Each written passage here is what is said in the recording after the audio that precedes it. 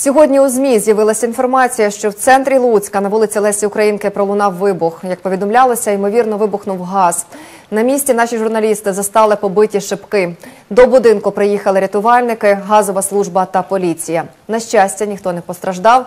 Місцеві допускали, що причиною вибитих вікон може бути газ.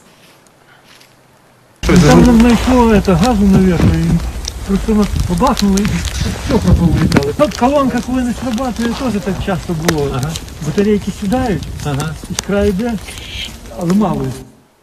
Щоправда, у Волиньгазі інформацію про вибух від газу спростовують. Там зазначають, що у квартирі була газова колонка і газова плита. Однак ні те, ні інше пошкоджень від вибуху не зазнало.